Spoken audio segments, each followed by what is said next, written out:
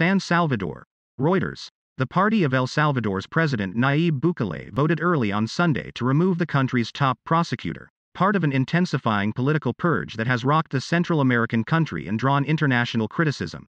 The vote shortly after midnight to dismiss Attorney General Raul Melara followed a new legislative majority's votes on Saturday night to kick out all of the judges on the constitutional chamber of the nation's Supreme Court, which the small opposition and even one of U.S. President Joe Biden's advisers criticized.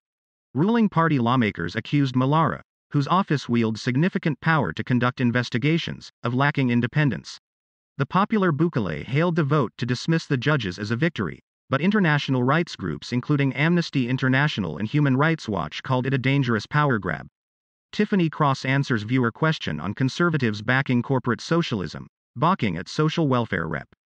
Hakeem Jeffries talks Rudy Giuliani's apartment being searched in federal investigation Native American lawmaker on GOP's revisionist history. We are still here. Michael Cohen says the SDNY now has a treasure trove of information after raiding Giuliani's home Indian journalist on the front lines of the dire COVID 19 crisis in India.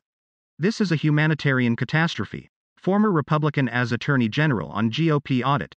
The whole thing is a sham. Velshi. Reforming qualified immunity protesters calling on White House. Congress to pass immigration reform. Hillary Clinton calls out GOP reps who downplay Capitol riot. They're not open to reality.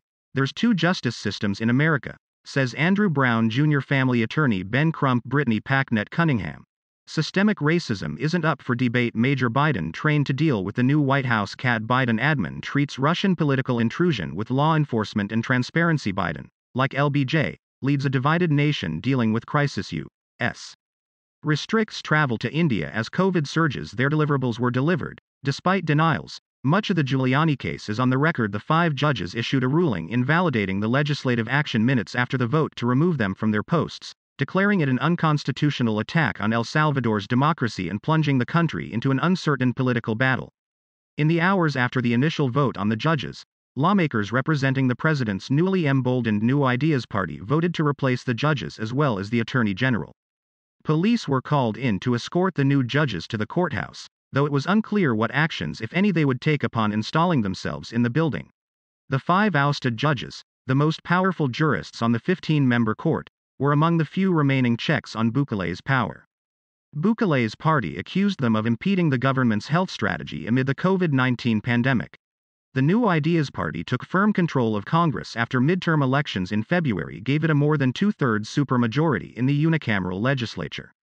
Saturday marked the new legislature's first session. The votes to remove the judges and the prosecutor passed with 64 lawmakers in favor, or nearly 80% of the 84 seat legislature. Reporting by Nelson Renteria. Writing by David Alire Garcia. Editing by Will Dunham.